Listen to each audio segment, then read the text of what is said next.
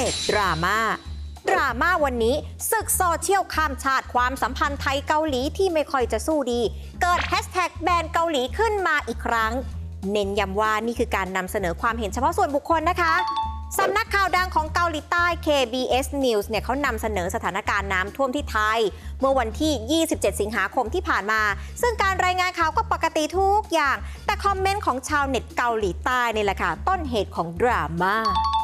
คอมเมนต์ชาวเกาหลีใต้บางส่วน แสดงความเห็นในเชิงสมน้ำหน้าประเทศไทยที่เจอภัยพิบัติ แปลเป็นไทยได้ว่า คนไทยคว่ำบาตรเกาหลียุยงให้ไปเที่ยวจีนและญี่ปุ่นแทน แต่สุดท้ายถูกพระเจ้าลงโทษ บางก็พาดพิงถึงพวกเข้าเมืองผิดกฎหมาย หรือให้จีนและญี่ปุ่นที่ชอบมาช่วยสิเธอ บางก็แสดงความเห็นใจคนไทย และตำหนิคนเกาหลีใต้บางคนว่าไม่ควรซ้ำเติม ส่วนไทยเราเองไทยนี่รักสงบแต่ถึงรบไม่คลาด ไฟตอบกลับคอมเมนต์แย่ๆของเกาหลีใต้ในทำนองว่า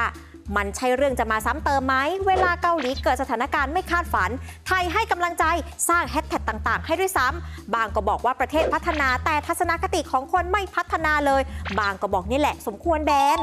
เจ็บแค้นเครื่องโกรธโทษชั้นใหญ่ไทยทำอะไรให้เกาหลีโกร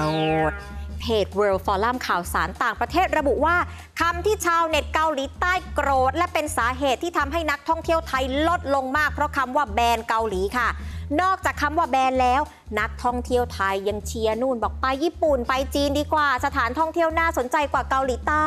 นี่ก็เลยเป็นสาเหตุที่ทำให้โกรธเครืองกันนะคะ แถมตัวเลขทางสถิติจากข้อมูลขององค์กรส่งเสริมการท่องเที่ยวเกาหลีใต้ระบุว่า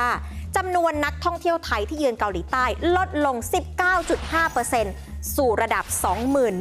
2150 คนแล้วนะ นี่เทียบกับปีก่อนนี่ลดลงนะ ติดต่อกัน 7 เดือนแล้วด้วย ส่วนสถิติไทยไปเที่ยวญี่ปุ่นกับจีนดันเพิ่มขึ้นอีกต่างหาก ถึงแม้ว่าโอปป้าออนนี่จะมาเที่ยวไทยมากขึ้น ส่วนกระแสคนไทยแบนเกาหลีก็ตาม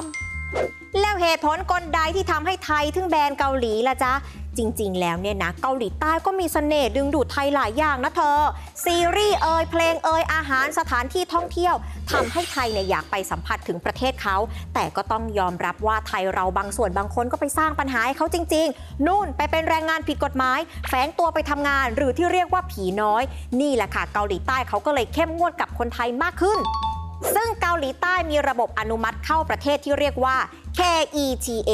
อนุญาตให้นักเดินทางจาก 112 ประเทศ ลงทะเบียนข้อมูลและอนุมัติออนไลน์ แต่ที่ผ่านมาโดนปฏิเสธจำนวนมากก็จากระบบนี้แหละ หลายคนมองว่านี่มันไม่แฟร์เลยนะ ถึงแม้จะกรอกข้อมูลจนผ่านแล้วก็ตาม มาหน้างานนี่โดนตอมอห้ามเข้านะคะ จับเข้าห้องเย็น หลายคนก็เล่าประสบการณ์ที่โดนตอมอห้ามเข้าด้วยเหตุผลแปลกๆ ถามคำถามอย่างเช่น ต้นไม้ที่โรงแรมเนี่ยมีกี่ต้น สีห้องพักเนี่ยสีอะไร พอตอบไม่ได้ก็โดนส่งกลับแล้วให้เหตุผลว่านี่ตอบคำถามไม่ชัดเจน เกิดข้อสงสัยที่ว่าแล้วตอมอเกาหลีใต้เอามาตรฐานตรงไหนมาพิจารณา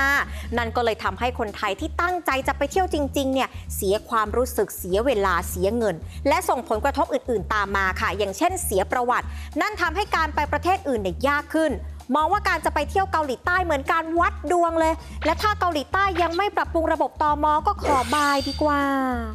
แต่ทางเกาหลีใต้จะหาทางงอ ยแล้วนะ ด้านกระทรวงวัฒนธรรมกีฬาและการท่องเที่ยวเกาหลีใต้ ขอให้กระทรวงยุติธรรมยกเว้นการลงทะเบียนระบบ KETA ให้กับคนไทยชั่วคราวภายในสิ้นปีนี้ค่ะ หวังว่าจะดึงดูดนักท่องเที่ยวไทยให้บรรลุเป้าหมายนักท่องเที่ยว 20 ล้านคนภายในสิ้นปีนี้ แต่ดูเหมือนว่ากระทรวงยุติธรรมเกาหลีใต้จะไม่รับลูกนะคะ โดยให้เหตุผลว่าคนไทยครองสัดส่วนผู้อพยพที่ไม่มีสถานะทางกฎหมายมากที่สุดในเกาหลีใต้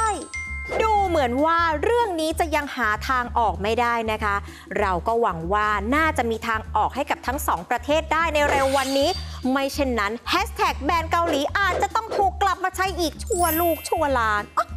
เสร็จแล้วก็จบ